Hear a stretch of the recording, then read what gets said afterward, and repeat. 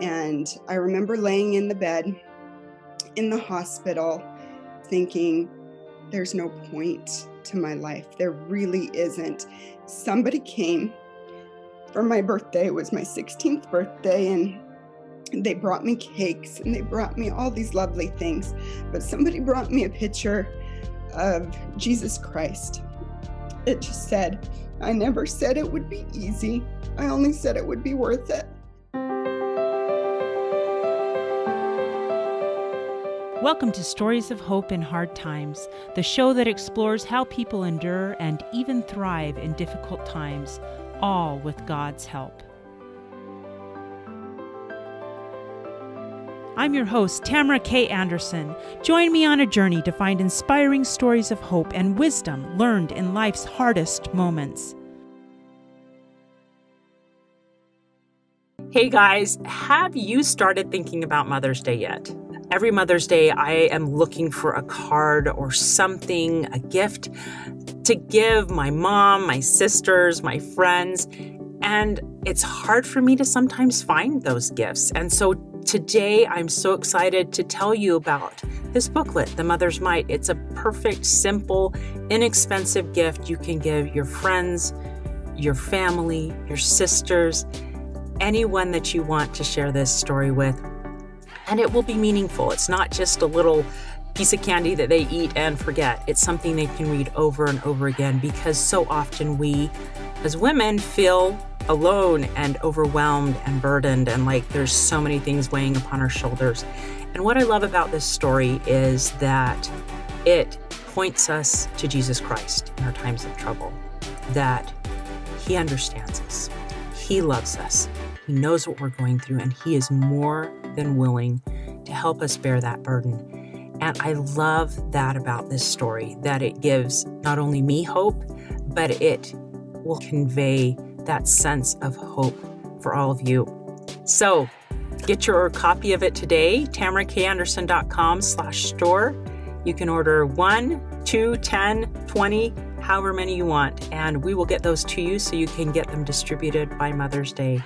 Order your copies today after narrowly surviving a terrible auto pedestrian accident as a teenager, my guest today knew that there might be some special purpose to her, her life, although she's still trying to figure out what that might be. She married her best friend, Keith, when she found out he could sing along to her oldie songs and drop movie quotes into regular conversations. They adopted three active boys and have fostered four additional children with various special needs and backgrounds. She is an author who writes about everyday miracles. I'm pleased to present Chantelle Barlow. Chani, are you ready to share your story of hope? I am. Thank you for having me. Oh, this is going to be so fun. So, one of the interesting icebreaker facts about you is that your thumbs don't line up. One is longer than the other. One, How in the world did that happen? I don't know. I don't know. I I have two siblings. One has two long thumbs, one has two short, and I have one of each. And it's a super strange thing. it's it's one of your superpowers. I guess you have so. one that you can use for each. yep. Yep. That is fun. Oh my goodness. So Chani, this your life has been a series of just crazy and amazing incidents that have helped you learn to trust and rely on God. Yes. And you learned that very young, right? I did. I did. I uh it's starting with my accident. Um I think was probably the catalyst to all Now, how old were you when that happened? It was right before my 16th birthday. Oh my goodness. Now describe your life before it, kind of in a nutshell, and how the accident changed your life. Okay. So, at about 15 years old, I guess you could describe my life as completely involved in sports. That was what I lived. That's what I breathed. That's what I did every single day. That's what I thought about and I dreamed about. I can remember watching the Olympics. I was, uh. I still am an avid Olympics fan, and I could picture myself on that podium. I would even practice the Star Spangled Banner so that when I got up there, I would know all of the words and I wouldn't look weird in front of the camera. I love that. That was my goal was to get there and to be a professional athlete and at 15 that's that was my drive. Um, my accident happened right before my 16th birthday and it happened I was at school for a school dance and we got there a little bit early and it was just weird standing around with a couple yeah. of the teachers and nobody was there yet and so we left i had two other friends with me and we decided we wanted to just go to the store across the street problem was there wasn't a crosswalk there oh. And so we decided to just jaywalk across the street. It's been done many times before um, right at dusk in the middle of december. And uh, we got we got past the first few lanes of traffic. And one of the girls that was with me um, we were standing there in that left turn lane. She darted out in front of traffic and then a car swerved to miss her and then hit me and my other friend that were standing there. Oh no so in a moment i i was hit dead center i hit off of my arms which crushed my my arms my elbows my hands and I flew up only to learn later that I had landed on my feet, which crushed everything downwards on my ankle, my heel, my my knees, everything went down. And so when I woke up on the ground, I knew it was bad, but I didn't know how bad. Mm. Wow. So, what did those next few months and probably years of recovery look like for you and and how did that affect you and your dreams and all of that i remember going to the hospital and trying to just shake it off like any other athletic injury just walk it off walk it mm-hmm. off but this wasn't something that i could walk off this was i couldn't even walk and i remember laying in the bed in the hospital um, surrounded by flowers and balloons and cards and all these wonderful things, just thinking, there's no point to my life. There really isn't. And and at 15, that was my narrow focus. My whole point of my life had been sports and achievement. And now that I didn't have that, the outlook wasn't so good. And mm. so I, I didn't see a point. I remember turning people away from the hospital room, pretending to be asleep. I didn't want to talk to anybody. I didn't want to be around. Whew, I'm getting emotional. Um, somebody came for my birthday. It was my 16th birthday, and they brought me cakes and they brought me all these lovely things. But somebody brought me a picture of Jesus Christ. And it's one that I'd seen before. I'd seen it in in primary classes in church and it just said i never said it would be easy. I only said it would be worth it. And i'd heard it before. Um but i felt it. For the very first time in my life i felt it. I knew why all of my primary teachers and church teachers would would cry when they talked about the savior because i felt it. I felt like somebody knew me and and understood the pain that I was in, the physical pain, the emotional pain, and just how I viewed myself, how how low I was. But somebody understood, you know.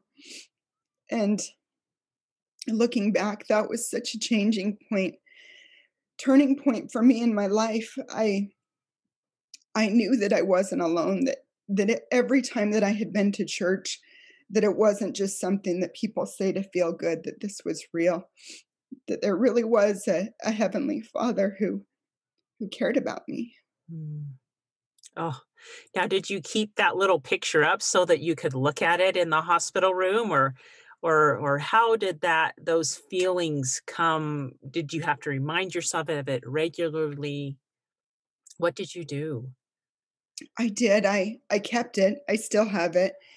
Um, it came in a plastic wrap, and it's almost too special to take out of the plastic. It's still in the plastic wrap, um, but I take it out and I look at it. And in the hospital, I kept it in my bed. I don't know how the nurses thought about that, but I kept it under my pillow in my bed, you know, and I'd pull it out in secret and and look at it and think about it.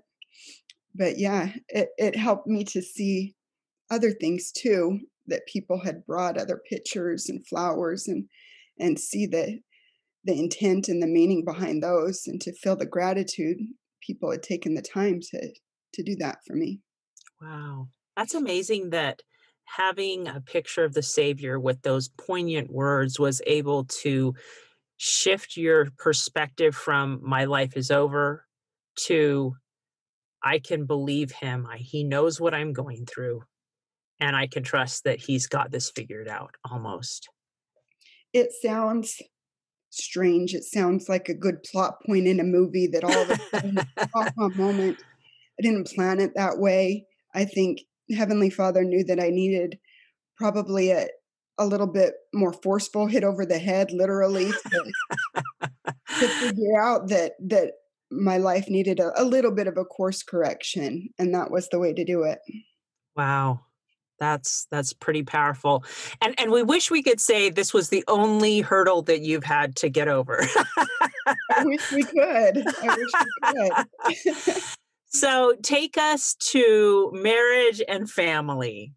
Okay um so how many years later let me think that was my 16th birthday about 20 years old 4 years later i met my husband and i met him at work and and I knew that we were supposed to be together. We were just a perfect match in every way, and we still are. Um, he came from a big family, and when we talked about what we wanted to do and what our future life would look like, of course, we talk about kids. And um, he would always say, I want a fair amount of kids. Whenever I asked him a number, I want a fair amount, and um, and I was okay with that we got married and we wanted to have a family right away. And it didn't happen. And it didn't happen. And I went to the doctor um, a ways after we had been married and I brought it up. And she asked, you know, the technical questions. And we began doing tests and test after test after test. Um, we found out that I have some issues with infertility um, but we did some more tests and we found out my husband has issues with infertility. So between oh, the wow. two of us, um, it's a double whammy of I infertility. Guess. And so we we are not able to have biological children of our own. And I still remember that phone call when the doctor called us. She actually called me at work. She just called me at work. Oh no. um, so I I was good on the phone, but I remember going back to the break room and just crushed, just crushed. You know, this was something that is a good thing. We want a family. We want to raise children and we want to to them to be good people and to teach them good things, but but it wasn't going to happen. Not not no matter how hard we tried, it wasn't going to happen. Oh. So it almost sounds like a repetition of the the lesson learned in the accident. You have a dream, you have a what you envision your life is going to be like, and then it's taken from you. And this same scenario playing over. Was it worse the second time around or just different? It was different. In some ways worse, but it, it different. Different because I did have that experience with my accident under my belt I did know and I did trust that Heavenly Father was aware of me mm-hmm. and knew about my situation, but I just didn't understand, though. You know, it felt, what if I had done something wrong? Was this a punishment? Mm. Um, was this, I don't know, some something that I wasn't doing right, and not even something that I was doing wrong, but something that I just wasn't doing perfectly, and I I questioned that. Not mm. I didn't question his existence, but I questioned why would you do that to me? This isn't this what you want is for us to have families and and be happy and and it didn't happen. Mm. So talk me through what you were thinking, what you were feeling, and your process that eventually led you to adoption, because I, am sure that was a bumpy, rocky road. It was, and adoption is a roller coaster. I think the process that got us there was I I have infertility issues. My husband has infertility issues. So some of the the options out there weren't options for us. So we we skipped a lot of the fertility um, treatments and that sort of thing. And we figured that in order for us to to have a child, it would basically we would need a basically a, a donor woman and a donor husband, which is what adoption is anyways. And so mm-hmm. that was a fairly easy transition for us um, that way. It did take us a while to come around to the idea of adoption. I think for people who suffer from infertility, they have to sort of grieve those children that they had in their mind, those biological children that would never come. Mm. And it took us a, a, few years to do that um, before we finally submitted our paperwork and got that ball rolling. So, wow. It's interesting that you mentioned the grieving process because I think that's something that often we associate grief with death. Mm-hmm. But there can also be grief associated with expectations that we thought were going to happen and then we don't get them. Yes. And so I think it's so important that you pointed out that you can grieve things like I'm going to have a family, I'm going to have biological children, and then finding out it's not going to happen. And it's totally normal to go through the anger, the denial, the the grief, the the sadness, depression almost, and then finally come around to peace. And it doesn't happen right away. No. You said it took a couple of years, right? It takes a couple of years and it is a process just like death. It is a process. It's it's a whole range of emotions that you go through. I remember I don't know if I told you about this before, but I remember this vision in my head of being in a hospital room and having just given birth. I don't know, I've seen probably too many movies with this where there's a woman and she's so beautiful, and the husband comes in and he sees how beautiful she is and just the sacrifices that she's made. And there's this newborn child lying next to her, and he just falls in love with her all over again. Mm-hmm. And that scene, for whatever reason, still makes me emotional because I will never have that. I will mm-hmm. never have that. And so it's almost like I have to put that to rest and set it aside and say, that's okay that I won't ever experience that particular scene because I have other scenes that are that are opportunities for me. Mm, wow. So, talk me through adoption because I have several friends who've been through this process and I know that it is not easy. I love how you've described it as a roller coaster because, from what I hear, it really, really is. Talk me through what adoption looks like. Okay. So, adoption um, can take on a whole bunch of different forms depends on what type of adoption you do if it's international or somewhere local or if you go through an attorney or an agency we chose an agency is what we did. Back in the day we went through a place called lds family services for my mm-hmm. first two children. Um, most agencies will review your background they'll do background checks they'll go through safety checks. They usually do all sorts of interviews to see emotionally if you are ready for the changes that adoption will bring. Mm-hmm. They'll look at your finances, they'll look at all sorts of different aspects of your life. And then then that's a process in and of itself but when they do that then they they give you the go ahead and you're approved for adoption now each agency is different some of mm-hmm. them publish things online little profiles scrapbooks of sorts for your family and people can flip through and look through them. Um, other people encourage sort of almost a networking perspective, like know somebody who knows somebody who knows somebody, send something out with your Christmas cards type of a thing. Mm. Um, back then, this was the year 2005, roughly. Mm-hmm. For us, so the internet was um, adoption.com was just brand new. Um, now it's the biggest website for adoption related things, but we we put our profile on adoption.com. Um, and we we made an actual physical scrapbook of sorts of our family, and the agency began, I guess, marketing us to to birth mothers and people who approached them that mm-hmm. had unplanned pregnancies. So that's that's kind of what it looked like back then and from there we kind of just waited to see what happened. Mm.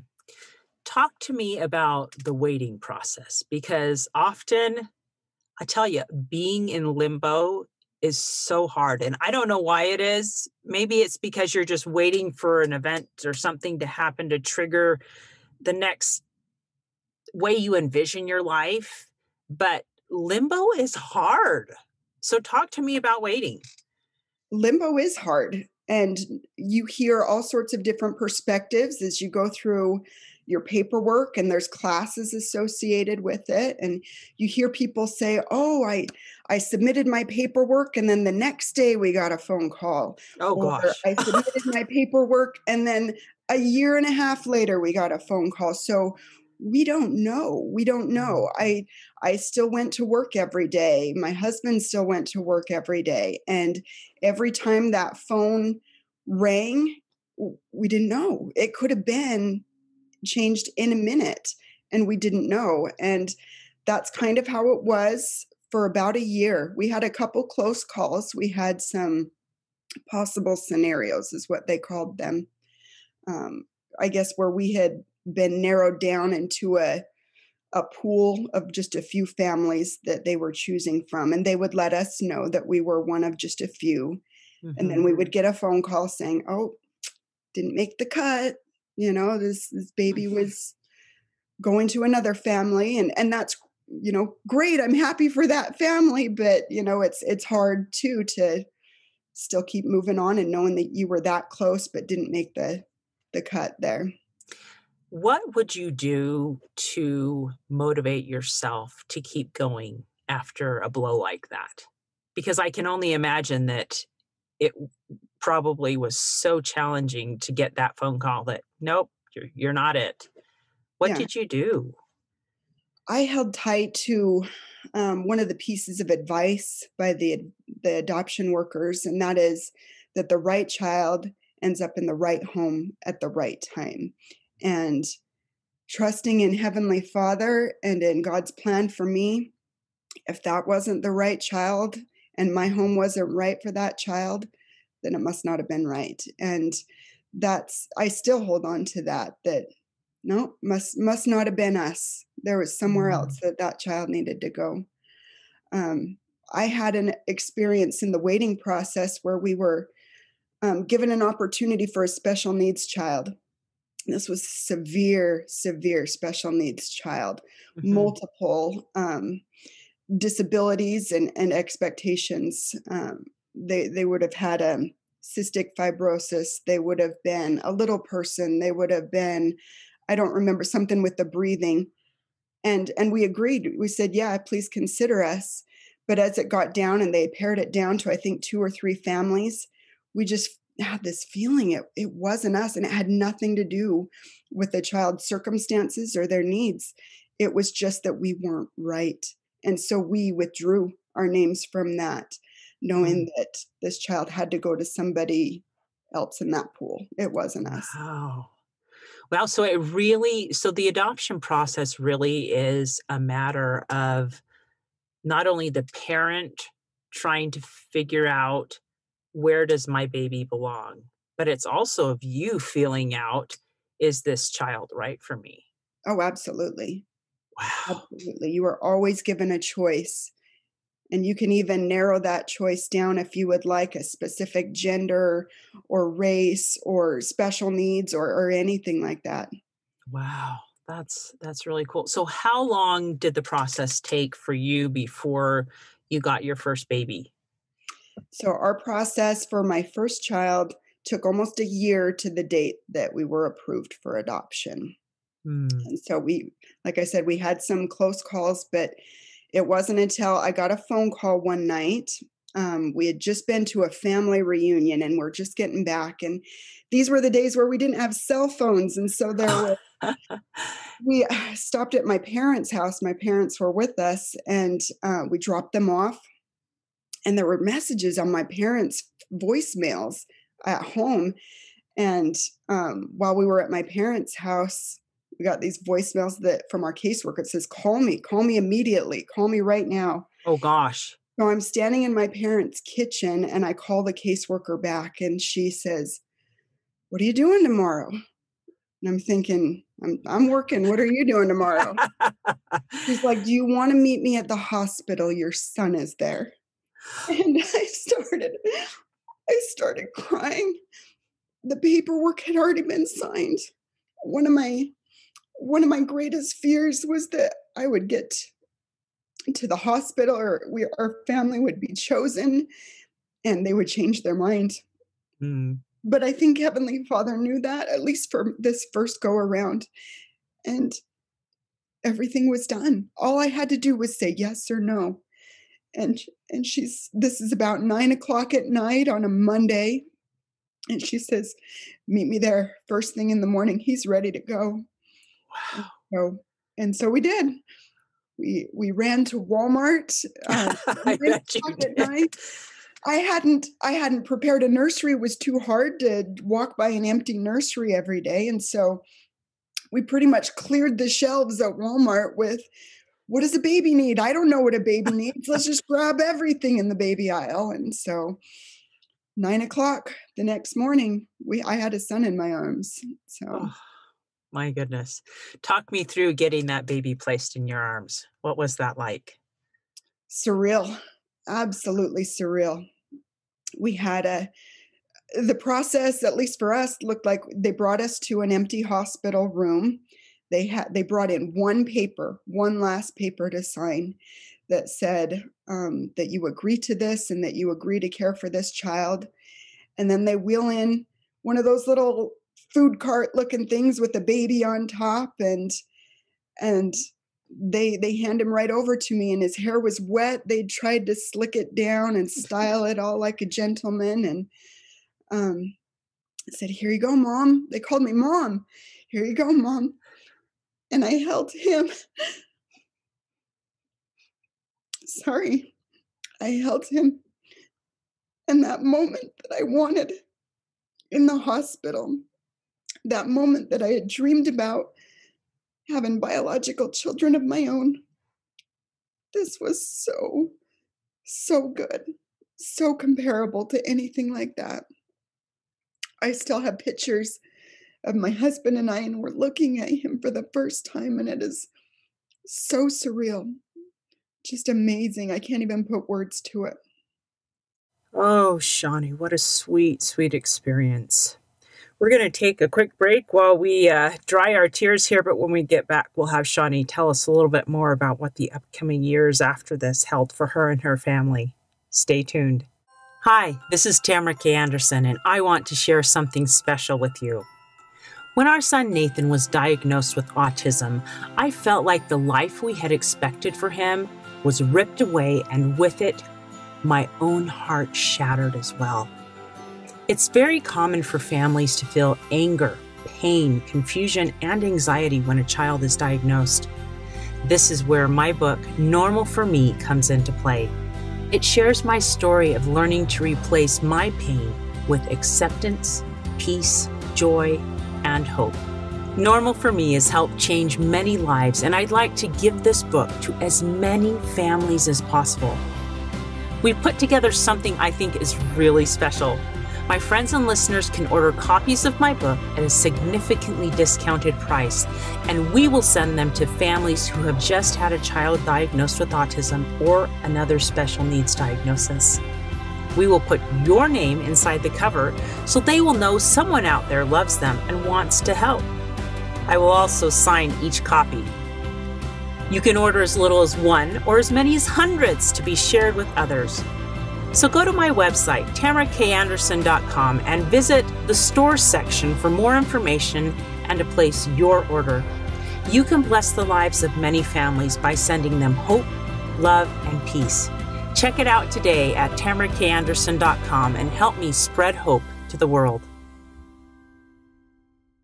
And we're back. I've been talking to Chantelle Barlow about her amazing journey, not only having a bad accident happen to her when she was a 15 year old and learning to rely on God and his wisdom, but then when she and her husband were unable to have children, um, going through the adoption process and what that looked like. And we're just to the point in the story where they had their first baby placed in their arms, their sweet little son. And so now we're to the point where, Chani, tell me a little bit about what these next few years looked like, the challenges as as you had one, but you added more to your family and what that looked like, the challenges and the obstacles and all of that so when I had my baby, um, oh, where to start? um, I brought him home from the hospital, and, and I had always promised myself and my husband, we'd talked about it, that if if the adoption did go through, if at all possible, I wanted to be at home raising my children. I didn't mm-hmm. want to try to balance work and home after all this stuff that we had gone through to to have children for us that was what worked best and so i had just started a new job and i i called them right away and and i had actually not even started the job i'd done the hiring process i got my name tag my badge and everything and uh-huh. about to start and i called them back and said i'm so sorry remember how i told you that we're adopting well you know i'm a mom now so um, so I, I quit my job and I was at home and I it felt like I was babysitting. It felt like I was babysitting a niece or a nephew for a little bit. It didn't feel like this child was mine, not immediately anyways. I still loved him and I knew it was right, but um, the transition to actually feeling like a mom took a little bit. Um, he he had a few medical complications right off the bat as a first time mom, I didn't understand that they were actually complications, that they weren't normal. He would mm. spit up often. And I thought, babies spit up. That's what they do.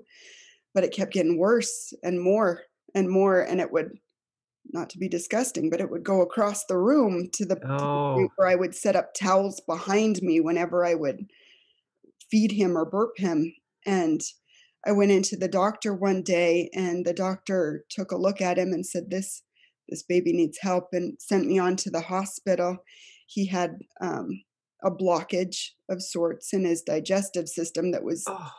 pushing all the food back up but i think it he was about six months no he wasn't that old just a few months old at the time. So he had his first surgery then. That i think that was sort of my first realization of what parenthood really is like the the worry, the concern, the helplessness, and just honestly the complete reliance on Heavenly Father for knowledge that I didn't have.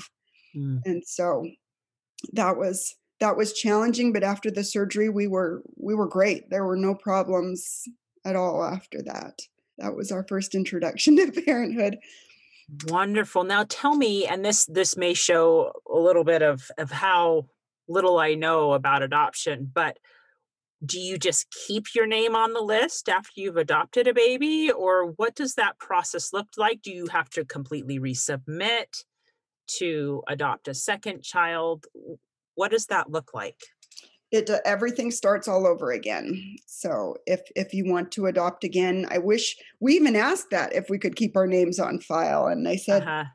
well you know we can keep your name here but you still have to start all over with the paperwork and oh, everything. oh wow so we didn't start paperwork immediately. Um, my my son was about one year old when we decided that might be time to start the paperwork again.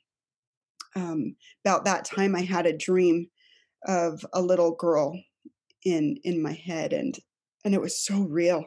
It was so real. I knew exactly what she looked like. I knew what it felt like to hold her, and I knew I knew she was supposed to be ours and so i had this hope i had this you know burst of adrenaline that you know she's the one so we we submitted our paperwork we went through the process again and nothing happened Nothing mm. happened.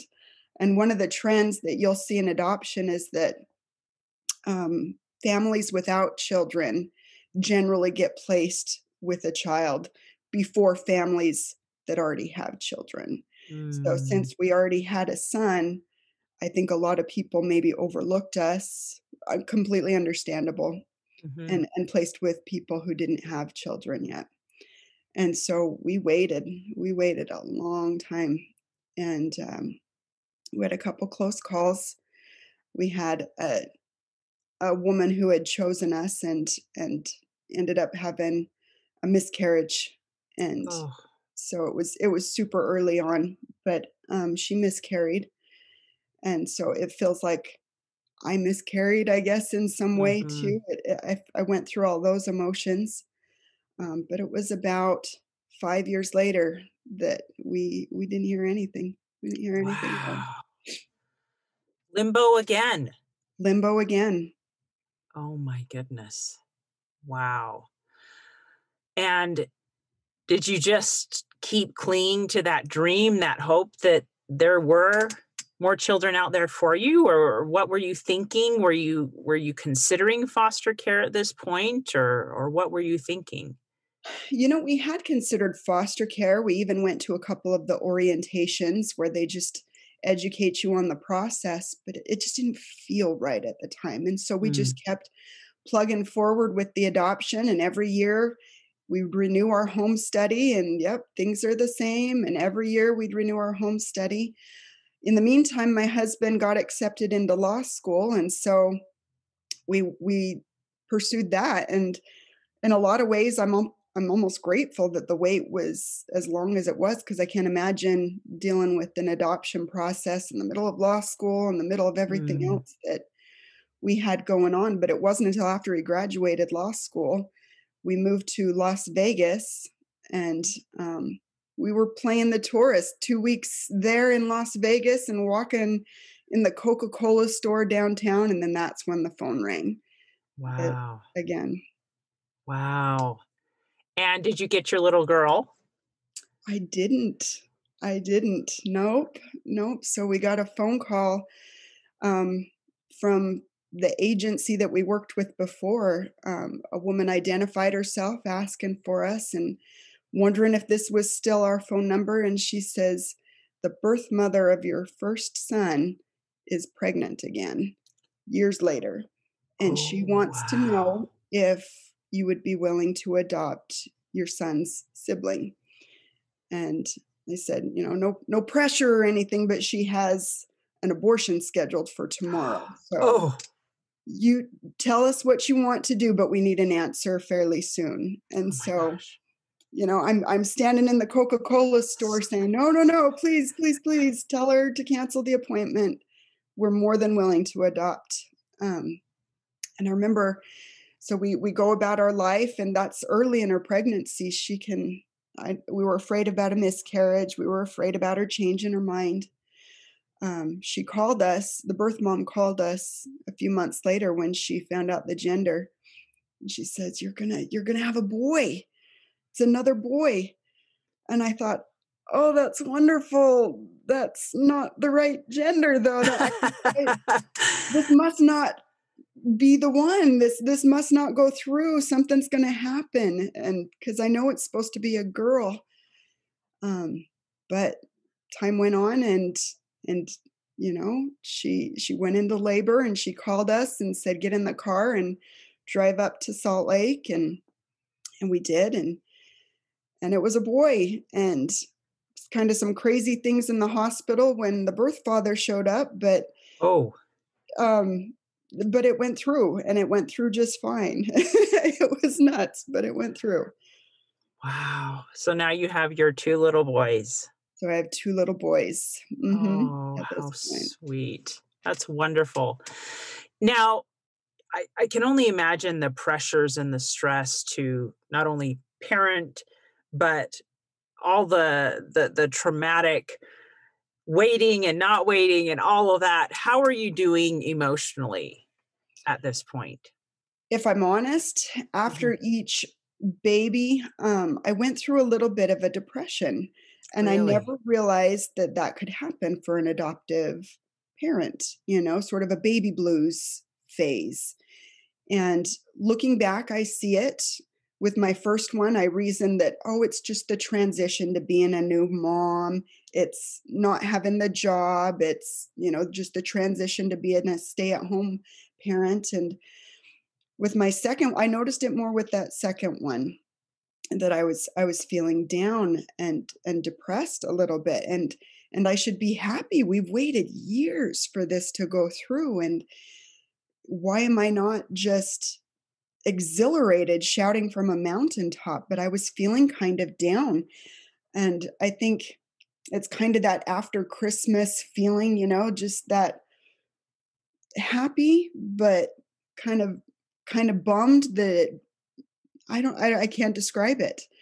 There's there's sort of a bummer aspect to to after an adoption happens Mm, and it's it's true i and and coupled with the fact that i'm a perfectionist anyways and mm.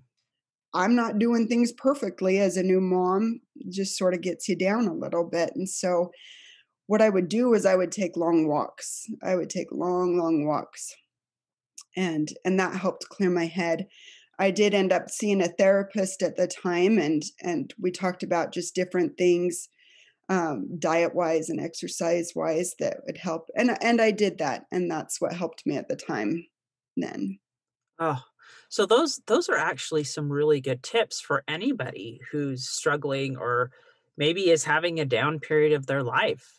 Diet, exercise, therapist, someone to talk to, whether Mhm. it's a official counselor or sometimes it's even a friend that oh, you're just completely open and honest with that um, can really help you if you're feeling down and discouraged. And and I think probably part of it too, I would say, is lack of sleep oh new moms. You know, something about not getting enough sleep is just overwhelming. it's true, and it, it messes with your mental faculties for sure. And and I remember friends that would reach out to me and and ask, "How are you doing? How is it going?" And I would put on the face. Why I would put on just this fake facade, this this no, I'm fine. Things are great. I wish I would have said, ah, you know, today's kind of an off day, you know, and I wish I would have been more open because I think sort of keeping that inside is what simmered inside of me and, and made things worse, you know, by not talking about them. But I Mm, didn't want to bring anybody else down, you know, when they ask how you're doing, they don't want to hear the worst parts of your life. But but I do wish I had answered more honestly though. Mm. Well, and it's interesting because often at those times we're praying to God and we're saying, please help me. I'm really not feeling myself. I'm struggling. And yet he sends somebody to help us. And we're like, we're good. We're good. I don't need anything, but thank you. Sometimes I wonder if God is up there just kind of pounding his head, going, Hello, I'm trying to help you. I'm, I'm sure he feels that way with me. I'm I'm the stubborn one, and he knows that. but the cool thing is that um, he just takes us where we are and he loves us as we are and and uh, he'll he'll keep he'll keep trying to help us as, as long as we keep asking right? Yeah, yeah. oh my goodness. So talk me through your third baby and then the decision to become foster parents and i don't know what order that came in so you'll have to clarify. So we uh we went on about our life. We were a family of four then, you know. I mean, that's that's perfect to get on amusement park rides. That's perfect for hotel rooms. We were a family of four and I I began to doubt that dream that I had about that little girl for a while. I wondered if it was just a a wish or a fancy or something that I had convinced myself about. And I went to oh, it was a a, a women's church activity. We were doing a dinner at the church, and there was a speaker there. And I remember sitting there. I remember what the table looked like and the candles that they had there. And I just remember having this feeling find her was I didn't hear an audible word, but just this feeling that I needed to find her. And I'm thinking, find who i don't even know who you're talking about you know and mm. um everything kind of blurred the speaker the other women and i had this this picture in my head again of this little girl find her and i i excused myself from the table and i went in the bathroom and I got mad. I got really mad. We're a family of four. No, we're happy. We're good. I don't want to go through adoption again. I don't want to do this. And so um, I'm sort of a reactor that way. I've described myself as the human version of Mentos and Diet Coke. I, just, I react. And then, so I went for a drive. I got in the car and I just started driving. Heavenly Father, I don't want to do this again. I don't want to add to my family. I'm not ready for this. It hasn't been, it would only been maybe a year, not even that, since we'd adopted our second child. I don't want to do this. I don't want to do this. You know, I don't want to do this. I don't know. You're the one who messed up. You sent me a boy instead of a girl. That was your fault. and that's that's how I went on for that evening. And that's kind of what simmered inside of me for a few few days um, before I finally got up the guts to talk to my husband and said, I, I wonder, do you think we need to start the process again? Um, we were up against a brick wall, though. The the agency that we had gone with before no longer handled the the legal side of adoptions, and so we were going to have to start completely from scratch, researching agencies and and now that we're in Nevada, new laws, state laws and requirements. And so mm. so that's what it looked like. Finally I got around to the idea that, you know, kind of like a, a tight pair of pants that you stretch in them for a little bit. like, okay, let's at least look into it. And I think we did a couple of foster orientations then too. Still didn't feel right to do foster care. Um, so we did. We we found an agency here, um, a Christian-based agency, very similar to the one that we'd done before, and we talked it over with them, submitted our paperwork, and makes it sound like an easy process. It wasn't super easy, but we'd been through it a couple times, so by the third go around, it wasn't wasn't difficult at all. Mm. But yeah, submitted. Wow! and how did did you get her? Did you find her? you got to tell me the end of the story. That's what my book is about. That's uh, you'll have to find out that way. But um, actually, so we submitted our paperwork, and a few months later, we get a phone call. And what they do at this agency is they tell you the entire situation that they know about this child. We know that this child is this race. We know that they're this is their test their scores their apgar scores or whatever in the hospital this is how their health is this is how that mom and dad are doing and they tell you all of that except for the gender because they want you to make a decision based on facts not on mm-hmm. just this longing for this little girl.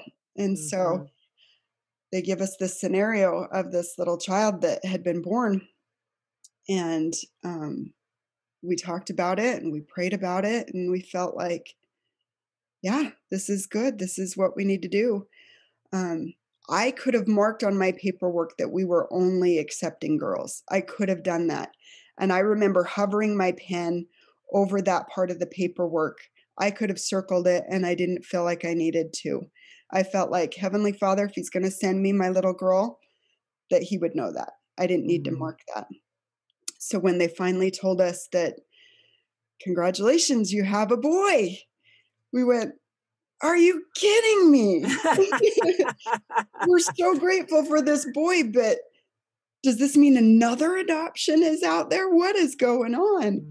And so we we have three boys and that's that's what my life looks like right now is three boys. Wow. No girls at all. Oh my goodness. But since then, you have become foster parents. Yep, still continuing that search of find her, and we we did with the foster care stuff. We narrowed it down to little girls, and we've had we've had one little boy and three girls um, with us so far. Wow. And what is it like to be a foster parent? Because I know there's emotional challenges with that as well. There is, in a lot of ways, it's very similar to adoption, at least the process to become a foster parent. There's a few more guidelines, a little bit more rigorous background checks and, and things like that, but very similar process wise to be a licensed foster parent. But once you get there, there's far less, um, you have far less say in a lot of things. And I mm. wasn't ready for that. You can say that, yes, I will accept this child into my home. You, you have every say in that. But when it comes to their treatment, their day to day, um, the court determines a lot of that. The biological parents determine a lot of that. The caseworkers determine that. And so, in a lot of ways, I feel like I'm a babysitter again in a in a lot of ways. Mm. But um, it's an amazing process. It really is. Wow. Wow. So, what are the resounding lessons that you have learned through all your ups and downs of um, going through the adoption process, of having the accident? What lessons do you feel God has taught you in and through this process? and still teaching me and still teaching you yes of course and still teaching me well, well the patience one is a big thing i think i think heavenly father knows that i seem to grow the most when i'm asked to wait and so naturally my the kids come to coming into my home i have to wait for them. I think that patience helps me appreciate them. It helps me trust in heavenly father that they will come to my home at the right time. Um, i don't know it all of these experiences teach me that that god is there. Just like that very first experience in the hospital after my accident i know absolutely that god is there i haven't i wish i could say that i've seen his face or mm-hmm. or met him personally but i know just as surely as i know when somebody else is sitting right next to me that he is there um, I know that he cares. That even even if I'm worried about spit ups over my shoulder or or getting through the day on just a, an hour or so of sleep, that he cares about that. Mm-hmm. I know that mm-hmm. he cares about these little things. Um, foster care. I, I know that he cares about these little ones, even if they're just in my home for a short time. I see how he cares for them. Um, all these lessons, I, I know that there are miracles all around us and little little messages from heavenly father that no i see you i see you i got you but i i just have to pay attention to those. It's not mm. him that's holding back it's me not seeing what he's trying to put right in front of me. Mm. and you blog about that right? The the everyday miracles. Tell tell me where people can find your blog because i'm sure um, just that perspective of actually looking for things and seeing them is is a different way to look at life right? It is it is so you can find you can find my blog right off of my website it's chanibarlow.com um, and you have that information to put that on there chanibarlow.com just click on the blog tab I like talking about miracles because I'm so tired of talking about politics and everything that's going wrong in the world. I would love to hear more about the things that are going right and those don't get publicized. You know, the there was a woman at the at the grocery store who was just so super friendly and and she was just bringing smiles to everybody's faces and I, I gave her a little card afterwards. I thought that she needed to know how much I really appreciated that. Mm-hmm. They don't broadcast that on the news of how nice your grocery store person was, mm-hmm. you know, but but it needs to be there. And and those miracles are all all around us. Mm, I love that. Now, you mentioned that one of the things you've learned to do in your life is let go. Yes. Explain what that means and why that's important. Well, um, take it from a perfectionist, a recovering perfectionist. I wish I was in control of everything in my life. And I had a plan as a teenager, I had a plan as a young married mom. I've had plans since then. And none of them really seem to pan out the way that I envisioned them. And so I think what I've learned is I need to just let go and let Heavenly Father, He's got a plan for me and for my family, the person that He wants me to become, the things that He wants me to do. And the best way to get there is His way, not mine. And um, if things had gone according to my plan, I might be a retired professional athlete right now. Um, I don't know, set up in my own gym. I don't know what it would look like, but I, I certainly wouldn't be the strong person that I am today. And that's from letting him take the reins and stepping back and being okay show me where we're going. This this isn't my call. So wow. So just recognizing that god's got this and trusting that he's got that yeah. you know? Mm-hmm. which is so much easier to say than it is to do. It is. It is it takes me going back and looking through i don't necessarily keep a journal but i jot down a few ideas every day and and especially thoughts or impressions or or feelings that i have at the time i jot those down. And if i look back through that book and i see oh whew, that was a tough time look at how god got me through that. Look mm-hmm. at what he mm. did for me.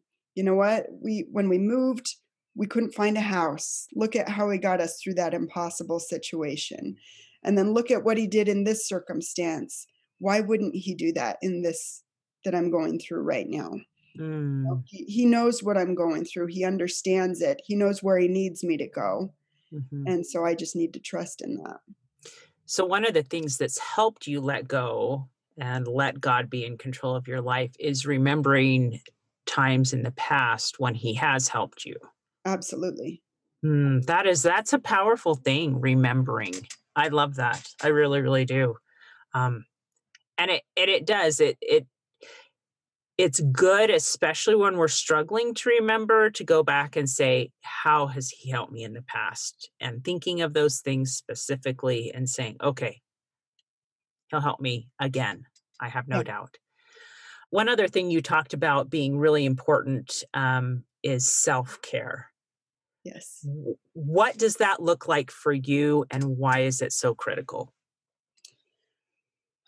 I think things came to a head for me this last year, probably like a lot of people. Um, mm-hmm. Um, one of the the things that the pandemic brought to me was sort of this um, uh, this bottling up, this push through, keep keep going no matter what. Um, perfectionist drive inside me just didn't work this mm. last year, and so I began seeing a therapist who helped teach me some healthier ways of dealing with that. And I guess in my mind, self care was a luxury. That's mm-hmm. not something that I do. I, I do that when I don't have anything else to do, which is never. But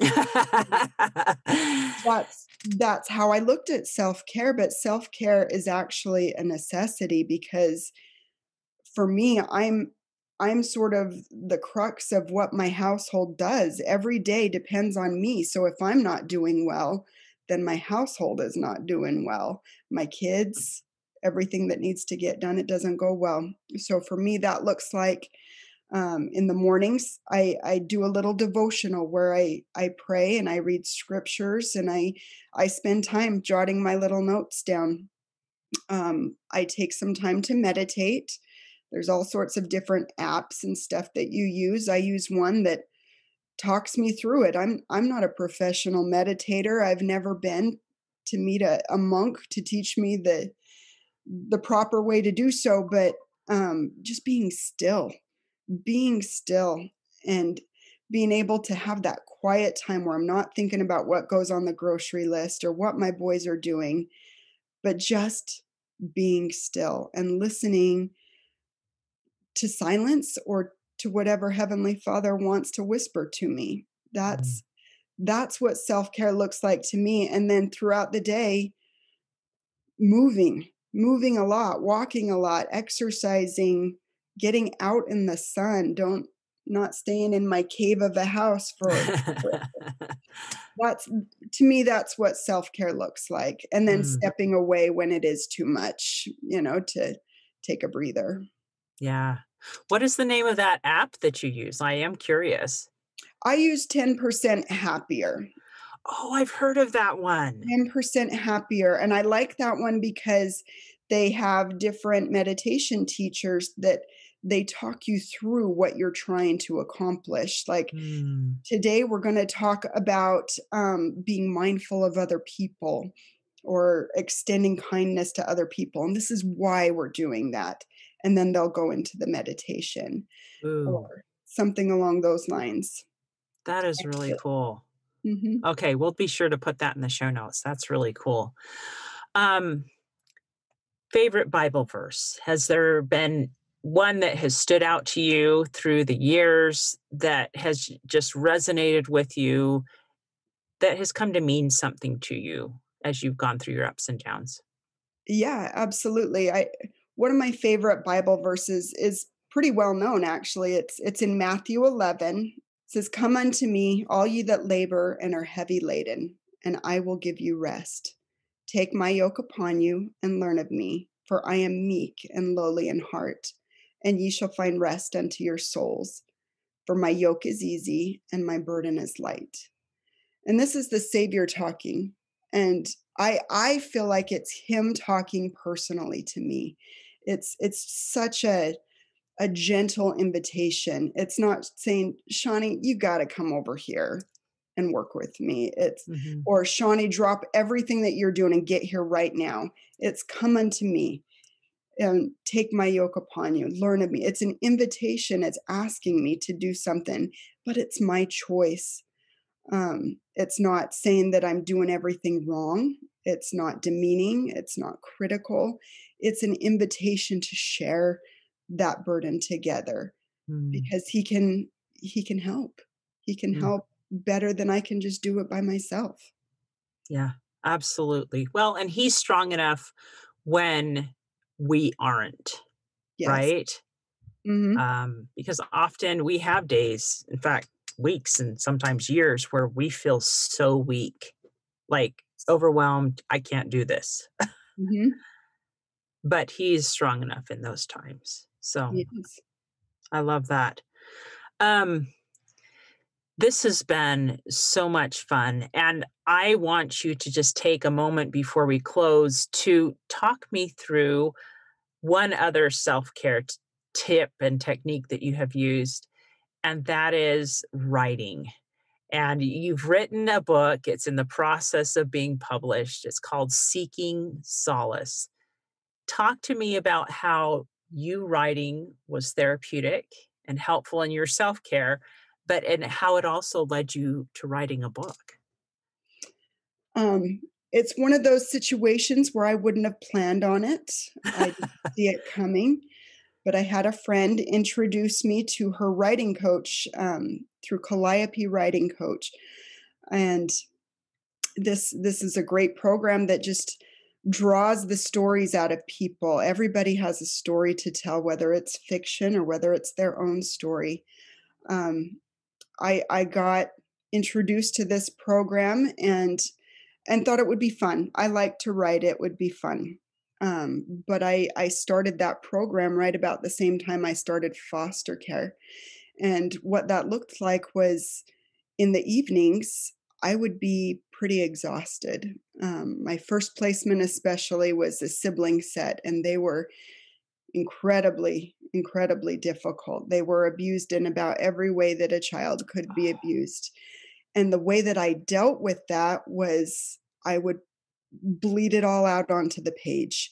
Any frustration, any thoughts with the kids, with the system, with with anything, just that negativity, that that stress or or the good moments too the the positive you know yay we used the potty today. That, that all went on the page and so instead of letting it simmer inside of me like i had in the past it was finding an outlet and and on the pages i began to write about it and i began to write about my journey um, from my accident on and i thought about all the different patterns that i had seen in my life you know there are patterns heavenly father is having me to learn the same lesson over and over again and i'm still not getting it um, but it's helping me see through my writing things that I couldn't see in myself before that time. So the process was was fun that way. You know, it it was eye opening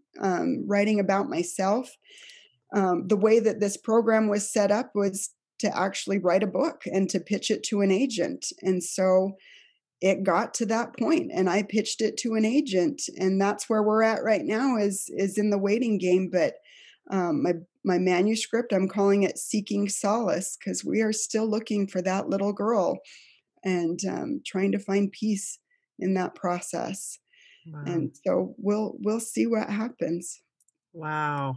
What a, what an incredible first of all resource and tip it's practically free i mean you can either type or write on a piece of paper to vent and it's so therapeutic but i also found through the writing process what you were describing that sometimes it takes writing it on paper to put puzzle pieces together in your brain and say oh i get that now you know that mm-hmm. it, it takes writing to help process some things and just look at them differently. So writing is so so helpful and so effective. And I'm so glad you brought that up. Um how can people get a hold of you? I'm sure there will be people who are like, I totally resonate with Chani. I love her story. I can't wait to get her book. Where can they find you online? Um, back at my website, chanibarlow.com. Um, it also will link you to Facebook and Instagram and Twitter and some of those other social media accounts. It's all from my website, chanibarlow.com. Awesome. Thank you so much, Chani. Any final tips before we close? Um, the only tip that I could have is is no matter what you're going through, whether it's a tough time or whether you're in the valley between those mountains, I think is to enjoy the season that you're in right now, um, and to look for those those little miracles, those little messages from heaven, um, tender mercies. I've I've heard them called those those things that speak to your heart that make your day just a little bit lighter. Um, there are things to enjoy, hard times and good times. So just look for those. Look for the everyday miracles. Thank you, Chani, for being willing to take us on your journey of ups and downs and kind of all through the messy middle, right? Yes. this has been wonderful. And it's also given us a taste of the hope that you have and that you can get through anything with God's help. So thank you. Oh, you're welcome. Thank you for having me. Hey, thanks so much for listening to today's show. If you like what you heard, subscribe so you can get your weekly dose of powerful stories of hope. I know there are many of you out there who are going through a hard time, and I hope you found useful things that you can apply to your own life in today's podcast. If you would like to access the show notes of today's show, please visit my website, storiesofhopepodcast.com. There you will find a summary of today's show, the transcript, and one of my favorite takeaways. You know, if someone kept coming to mind during today's episode, perhaps that means that you should share this episode with them. Maybe there was a story shared, or a quote, or a scripture verse that they really, really need to hear. So go ahead and share this podcast. May God bless you, especially if you are struggling with hope to carry on and with the strength to keep going when things get tough. Remember to walk with Christ, and He will help you bear the burden. And above all else, remember God loves you.